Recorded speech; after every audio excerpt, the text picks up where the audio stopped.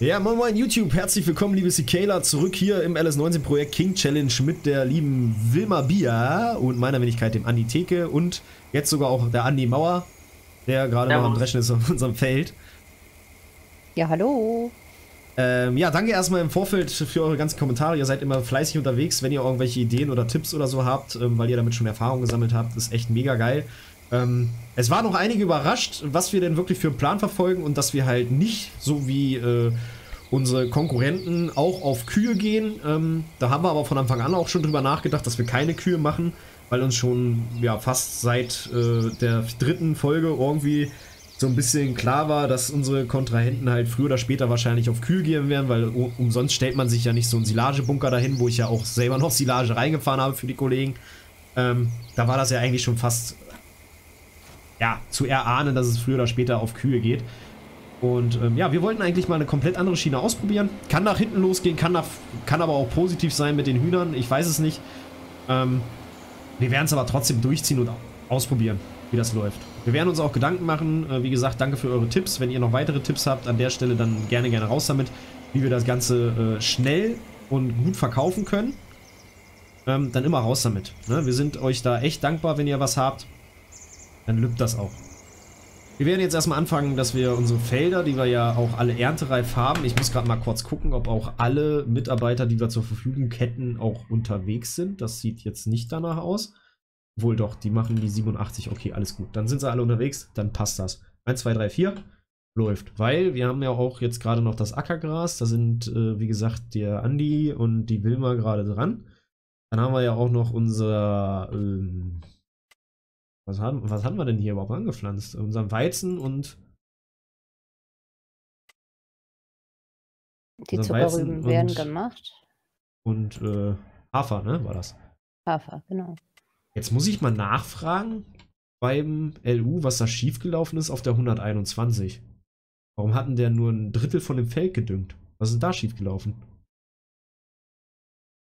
Oh ja, mach mal Terror. Äh, ich bin gleich wieder da. Bis gleich.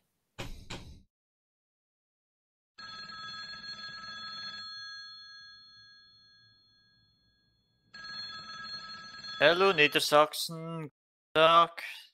Ja, schönen guten Tag, der Andi hier. Ähm, guten Tag. Ich hoffe, Sie haben gut geschlafen und sind gut in den Tag gestartet. Äh, ja, mehr, Kaffee, mehr Kaffee, oder weniger. Kaffee schon durch und aufnahmefähig? Ja, die Nacht ist durch und mein Kaffee ist aufnahmefähig, genau. Hervorragend, dann hätte ich mal eine ganz wichtige Frage. Vielleicht können Sie mir das beantworten, vielleicht auch nicht, vielleicht muss der Mitarbeiter mir das beantworten. Ähm, warum ist denn die 121 nur zum Drittel gedüngt worden? Das ist die 121? Ja. Ich habe da noch gesehen, dass der Kollege da irgendwie am Düngen war und äh, der hat da auch die Nacht, also vor der Nacht irgendwie angefangen zu düngen, aber jetzt irgendwie ist äh, alle Fähnchen abgerissen, abgebrochen, Zelte weg und er ist auch nicht mehr da. 121? Ja, genau. Das war aber schon gestern früh, oder? Nee, ich habe den gestern Nacht noch, äh, als ich losgefahren bin, um den letzten Rest vom Drescher abzutanken, äh, habe ich den da gerade mit einem Flüssigdüngewagen rüberfahren sehen. Und irgendwie hat das er dann... Das war aber auf der 122. Nee, der war auf der 121 tatsächlich unterwegs. Zu Anfang. Sie sehen das ja auch. Also wenn Sie sich das mal angucken, dann äh, hat er da irgendwie dann gesagt so, okay, äh, also entweder hat er dann auch, weil es ja auch einen Düngerauftrag für die 122 gibt, sich gedacht, okay, ich fahre dann auf der 122 weiter, hat dann die 121 vergessen, ich weiß es nicht.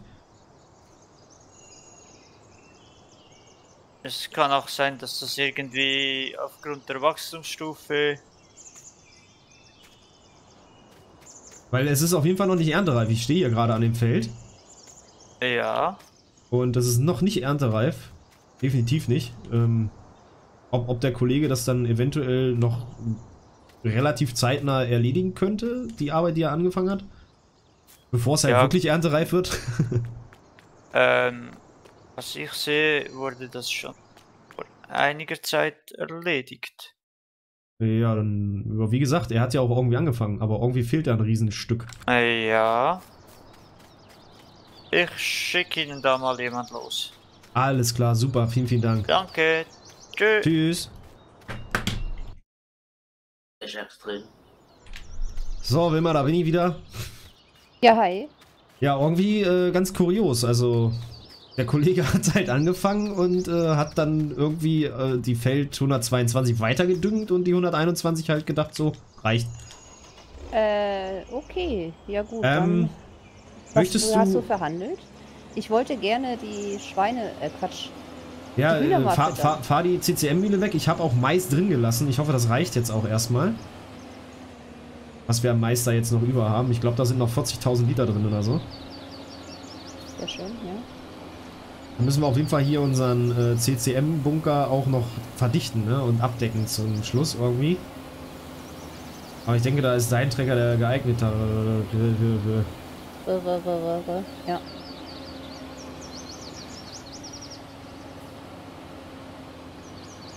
So. Ähm, verhandelt habe ich mit ihm tatsächlich gar nicht, muss ich ehrlich gestehen. Also, was hast du denn da? Soll Ja, ich sie wegnehmen? Komm. Nee, ich nehme sie weg. Ich, ich habe hier gerade gar keine Verbindung. Jetzt wieder. Okay.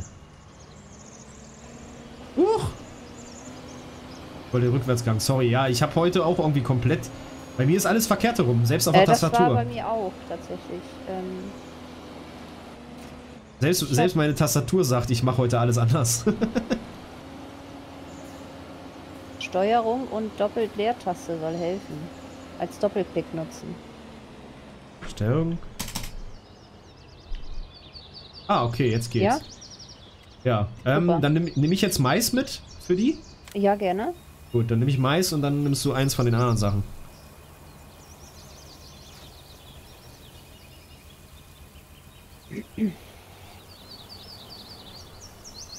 Dann schauen wir mal, was sie vertragen.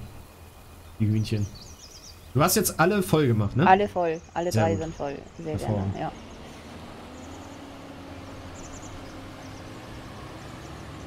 Bin auch ein bisschen, ähm, ich finde das ein bisschen spooky, was generell gerade mit den Feldern so ein bisschen los ist, weil irgendwie sind sie teilweise erntereif, teilweise sind sie äh, in der zweiten Wachstumsstufe. Ähm, es ist sehr, sehr kurios aktuell, muss ich sagen. Ja, ist eine schöne Arbeit hier gerade mit den Feldern. Auch haben wir jetzt gerade schon gesagt, auch mit dem Ackergras da. Das ist nicht schön. Oha, Zuckerrüben. Zuckerrüben. 12.000 Liter habe ich nur noch über. Von Oha. 32. Okay, also da geht ein bisschen was drin. Okay, ich habe das hier vielleicht ein bisschen zu eng gemacht. Heißt, wir können da nicht durchfahren? Doch, doch. Aber du musst ein bisschen ausholen. Also am besten fährst du halt immer von unserer Hofseite rein.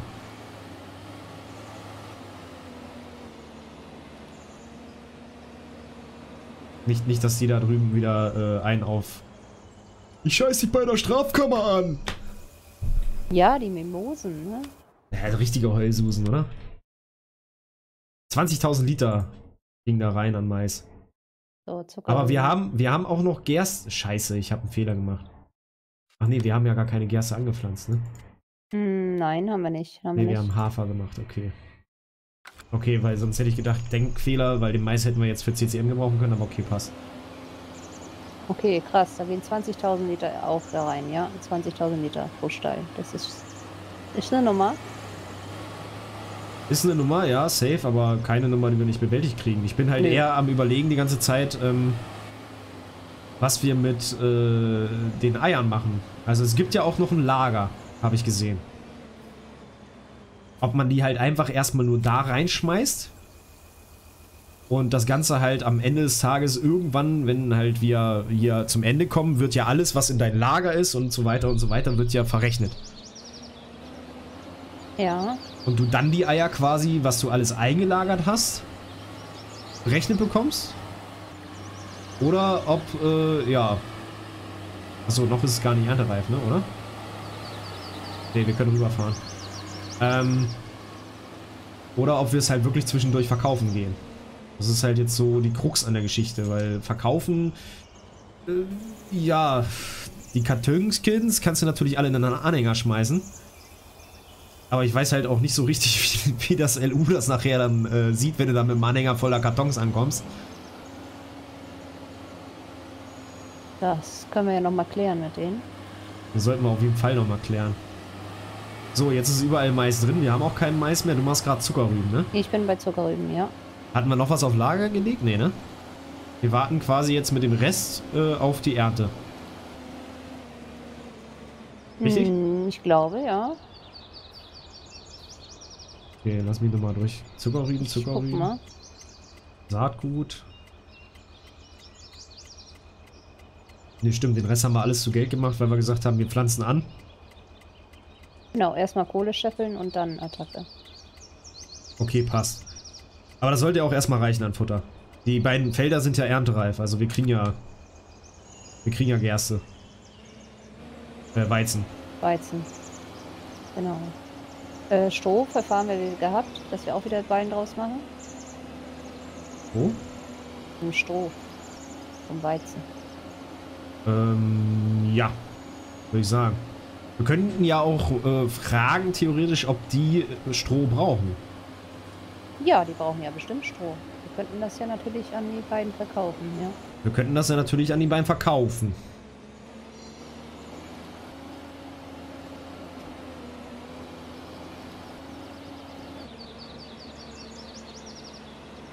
Aber so wie, ich die kenne, werden sie dann äh, rumheulen. Äh, nee, es ist zu Ach. teuer oder. Könnte ja noch meine Nacht bei Herrn Freezy übernachten.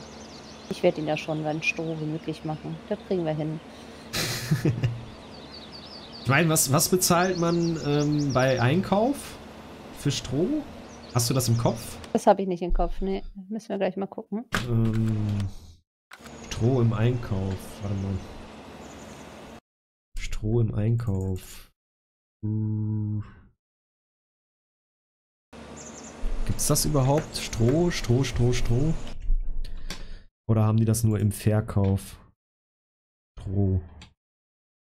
Was kriegt man denn Stroh, wenn man das verkauft bei den Kollegen? Nehmen die überhaupt Stroh? Silage, Silage.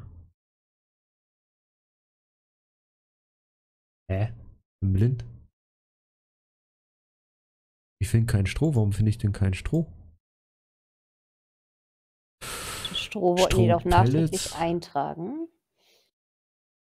Ach da, Stroh. 100 Euro pro 1000 Liter kriegst du beim ähm, LU, wenn du es da verkaufst. Aber das ist ja lose. Das sind ja gar keine Ballen. Warte mal. Wo sind denn die Preise für Ballen? Verdammt.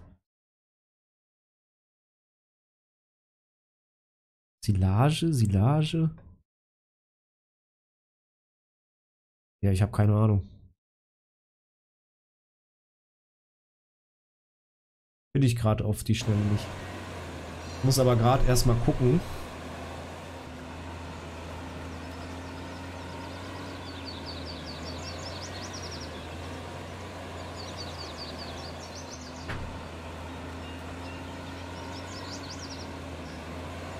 Oh, Wilma.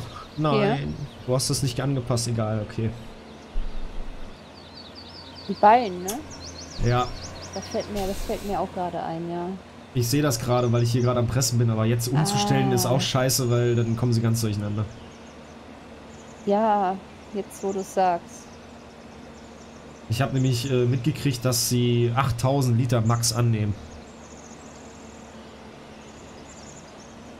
Jetzt wo du es sagst, ne?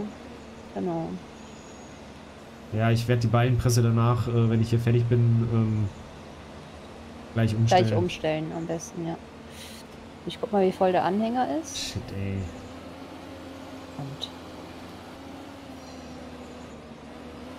Wir müssen uns auch mal angewöhnen, dass wir den Ballenzähler zurücksetzen, wenn wir fertig sind, ey. auch das wieder, ja. Losties. Losties on Tour hier. Einfach, einfach Hashtag Losties in, den, in die Kommentare, Leute. Ey, es ist.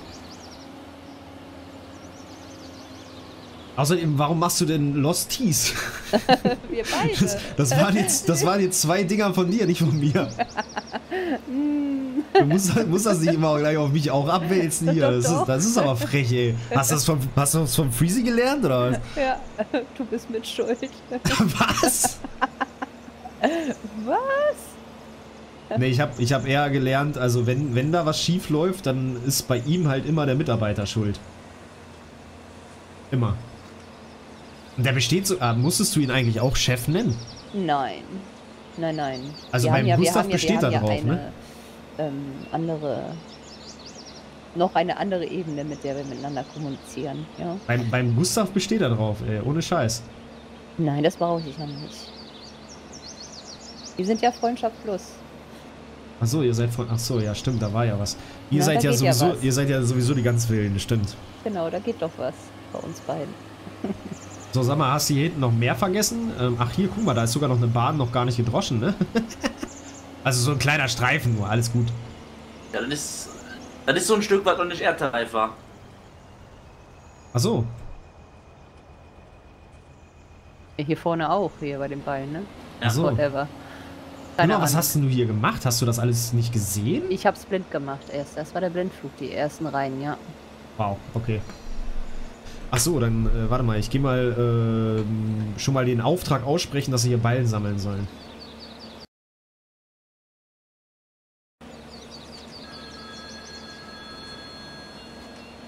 Ja, nein. Ja, nein, äh, herzlich willkommen. Hier ist äh, das Glücksrad. Sie haben gewonnen. Eine Weltreise auf die Kanaren. Oh, äh, ja, das freut mich. Wann geht's los? Sobald Sie einen Mitarbeiter aufs Feld 118 geschickt haben, um die Ballen einzusammeln. Äh. Ja, das dauert einen Moment. ist, ist gar kein Problem. Ähm, aber sobald der Mitarbeiter da ist, können Sie sich gerne äh, bei der Wilma Bier melden. Sie wird Sie dann an die Reiseleitung weiterleiten und dann äh, können Sie auf die Kanaren fliegen. Sie müssen sich um nichts weiter kümmern, die Kosten werden übernommen. Die Rechnung geht an den Oh, das hört sich gut an. Ja, wem sie die in Rechnung stellen, ist mir eigentlich egal. Sehen Sie? Hervorragender Deal, oder? auf Salut zurückfällt. Ha- Halten Sie sich an den Herrn Theke und Ihnen geht's immer gut. Ah, mehr oder weniger. Oh, ja, hoffentlich mehr. Ist Okay. eingetragen. Hervorragend. Dann wünsche ich Ihnen noch einen schönen Tag und äh, sobald es abgeht im Flieger, sagen Sie Bescheid.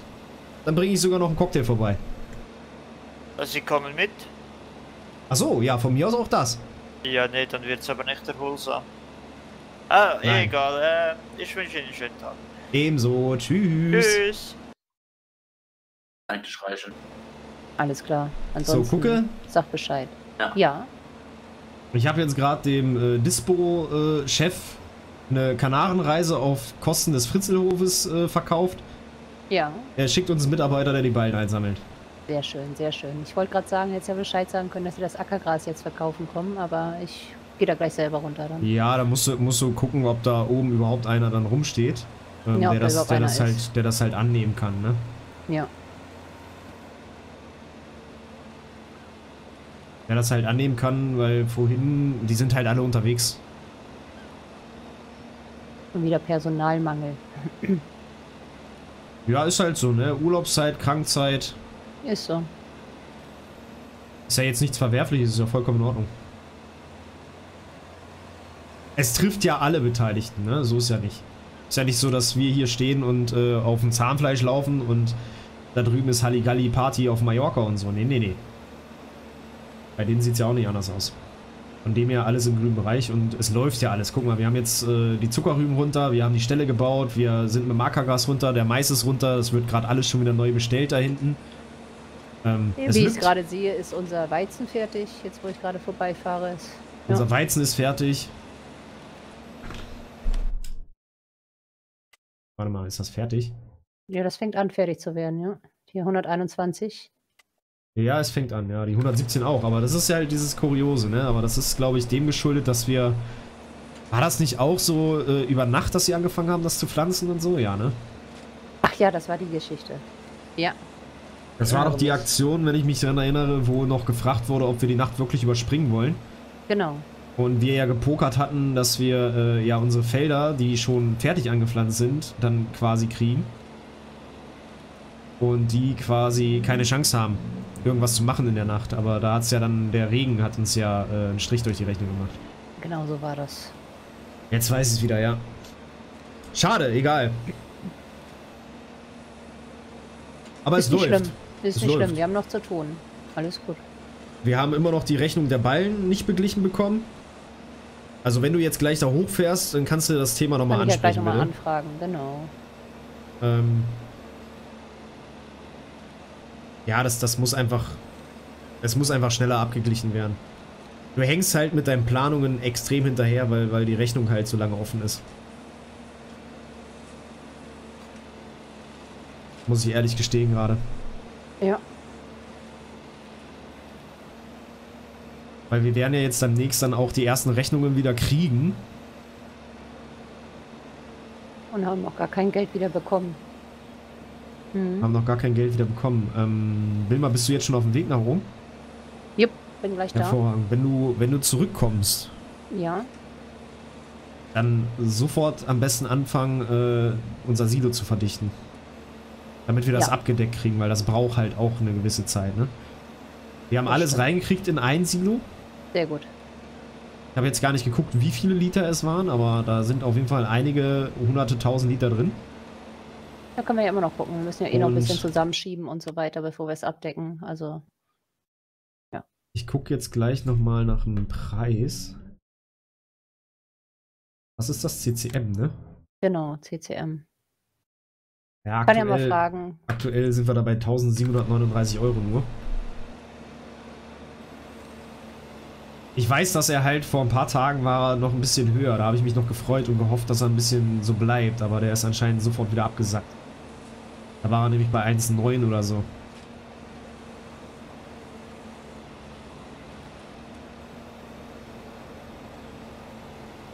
Aber gut, was willst du machen? Kannst du machen, nix. Kannst du machen gar nichts.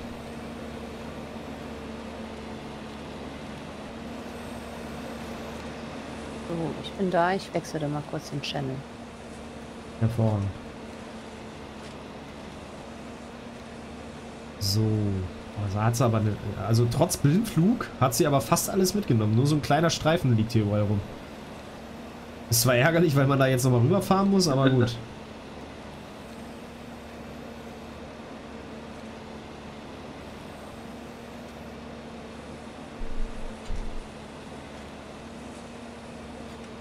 und das wächst schon wieder nach. Ey, ich, ich, ich werd schwach.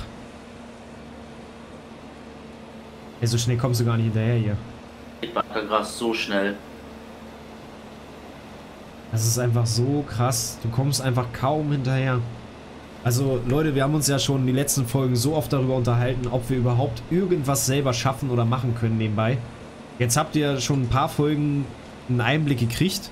Ihr seht, wie das hier auf Hochtouren läuft. Auch die Folgen, die wir jetzt diese Woche wieder hatten, inklusive auch der, die heute äh, hier gerade noch ist.